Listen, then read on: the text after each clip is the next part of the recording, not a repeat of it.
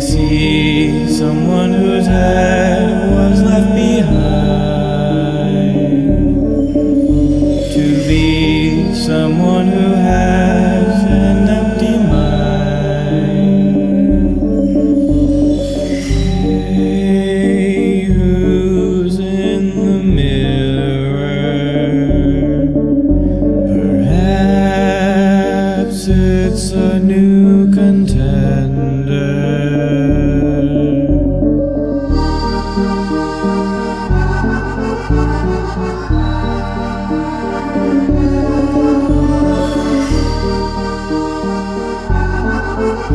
Thank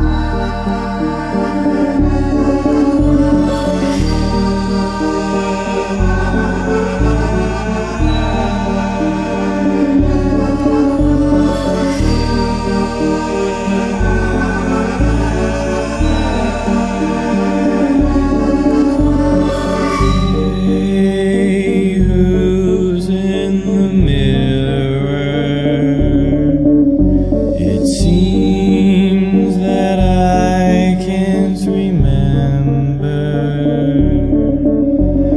see someone whose head was left behind